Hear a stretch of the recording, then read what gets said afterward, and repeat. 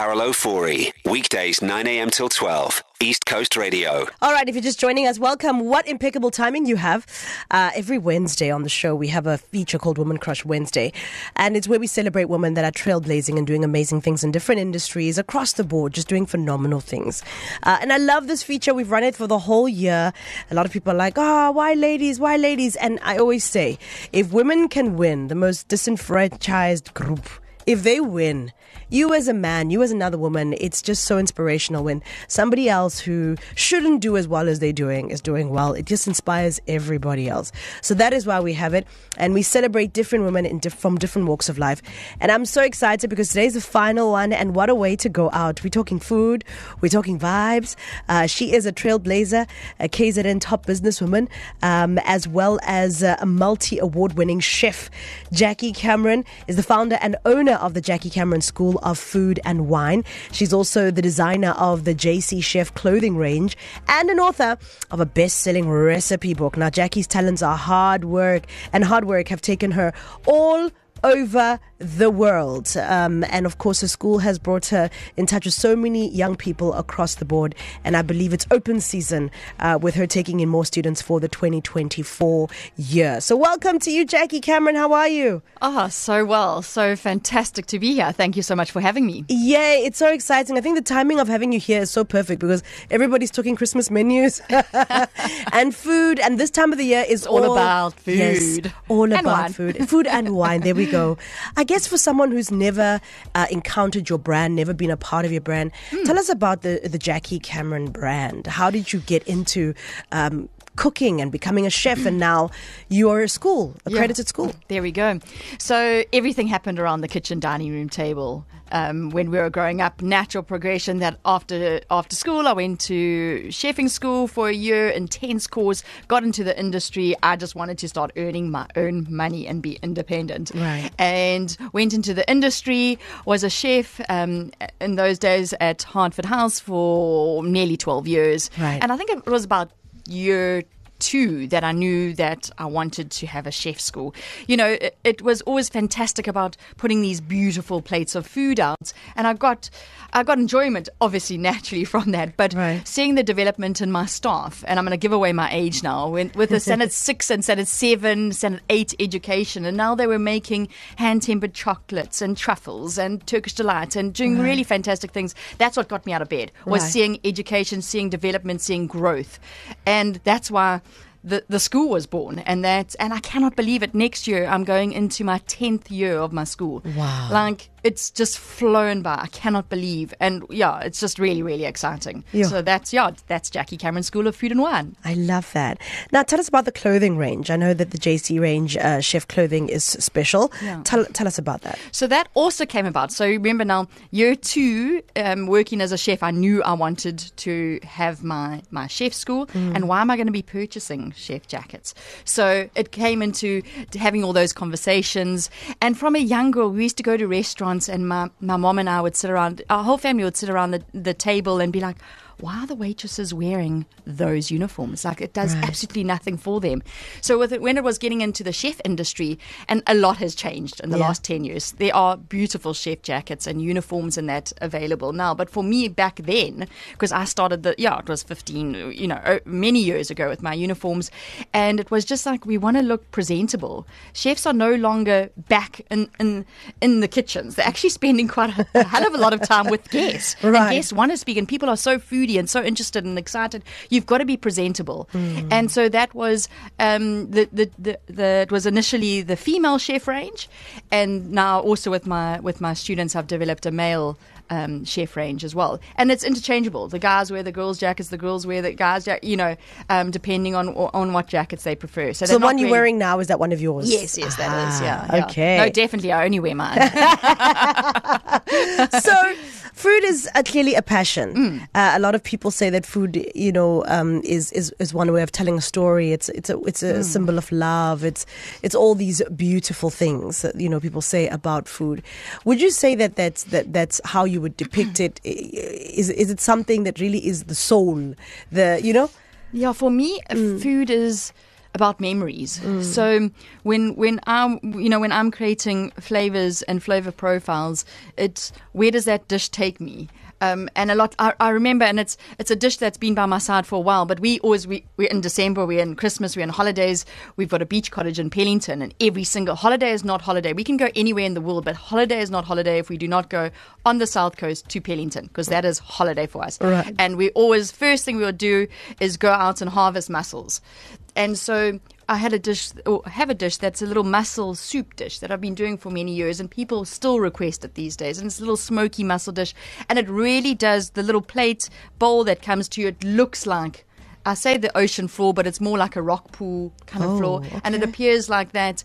And so it's yeah, for me, it's all about memories. It's um, and a lot of the food that I create is childhood memories. Um, you know, such great memories that we kind of rekindle on plates. And I think everything.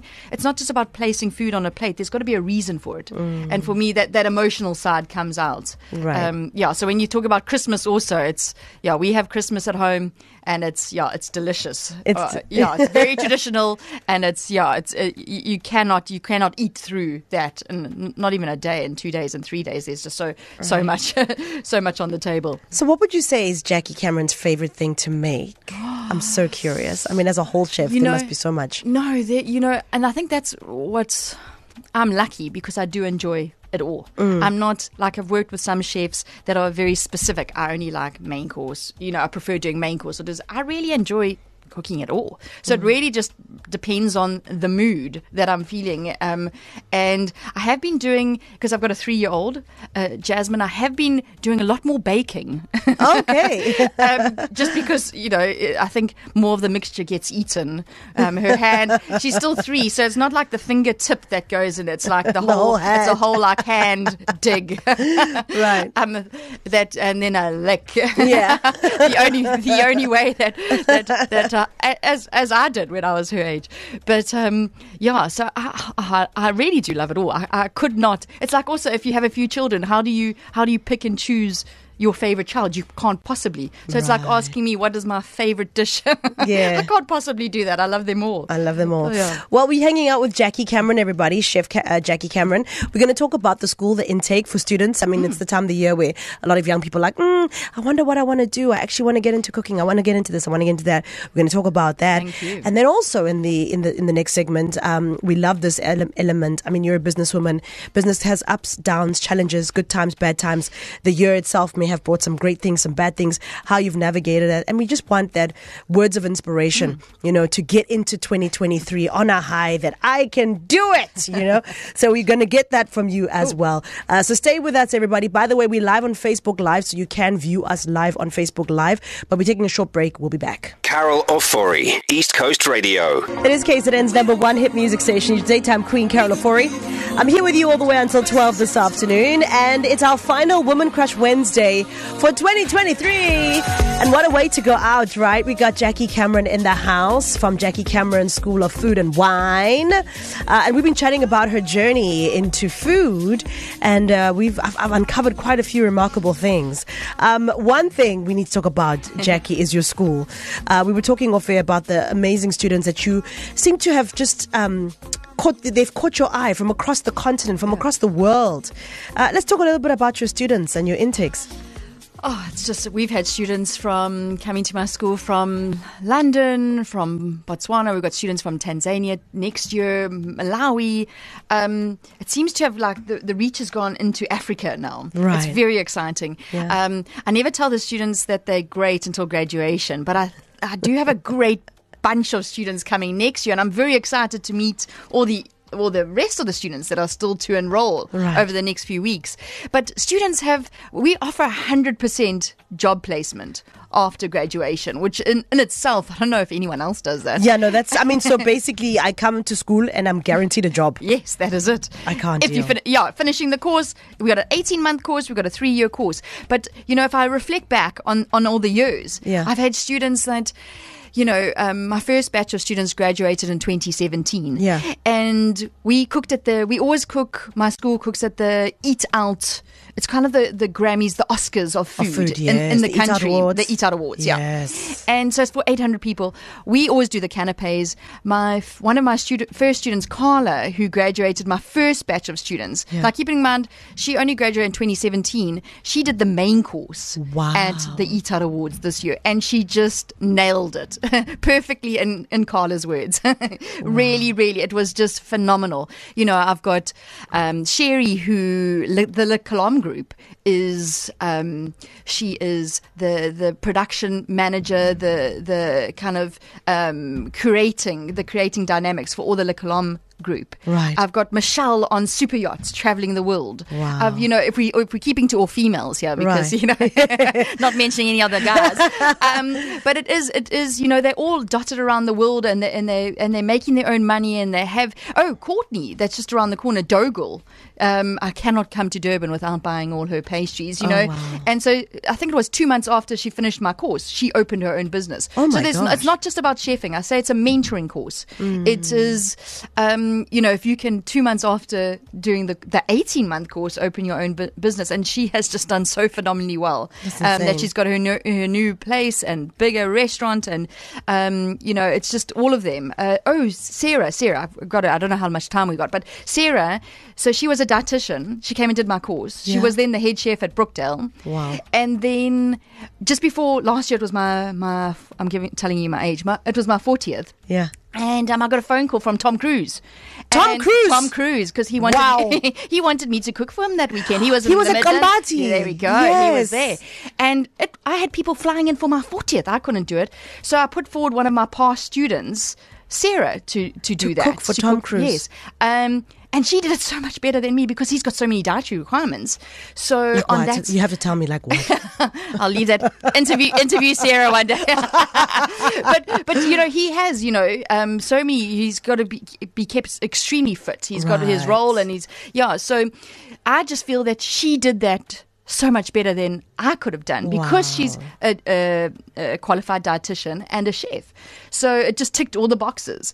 So the, the you know the the students and like I say, I'm just mentioning the females because we we're doing females. Yeah, today. but you- the guys are doing phenomenally well as You well. You can name a few guys. Let's see how the no. guys are doing. So, like, Georg is on super yachts, traveling Wow. around the world, cooking for you know, um, yeah, it's just it's just phenomenal. Yeah. Um, they've got their own businesses as well. They, um, you know, the guys. The, I think the guys are doing more more of the traveling internationally, um, Right. traveling around. Um, I've got um, on game farms and Pinder. I've got um, uh, Braden that's uh, doing phenomenally well, cooking on more of the, the outdoor cooking um, and going on to the game farms. They really are dotted and yeah, treat each individual student as individuals. So Mm. it, it really is about where they want to go, what Yeah. they want to do, what they want to do with their journey. Um, Clifford is local. He's got his own catering company and he's just getting more and more business and just growing and, you know, traveling around cooking for so, so all different families and local. So they really are, you know, it, it's not, you don't have to be working in an 18, 16, 18 hour day in a, in a kitchen. You can Yeah. be doing, you know, I say for the different stages of your life, often people think that is just what a chef is, and it's not.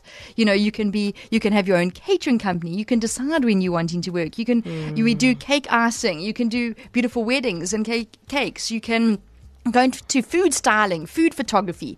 There really is a world on a its own. world on its own, and or for all the different stages of your life. So Yeah. the the money that you or your parents spend to come on the course is really, you know, it's been voted. My course has been voted the greatest value course for all that you get. And you get a job. I'm just here for the job. I love that. So if I'm listening now and I'm Mm. a young person, I'm like, or I'm just a person who's like, I want to do a Jackie Cameron uh, course. How do I get in touch with you? And I like that you said that because I've had students from 17 years old to 55. So you're never, and I'm actually in conversations with a, a gentleman just over 70 years old. So you're never too old. Hmm. So get in touch with me at this time of the year. Get directly in contact with me.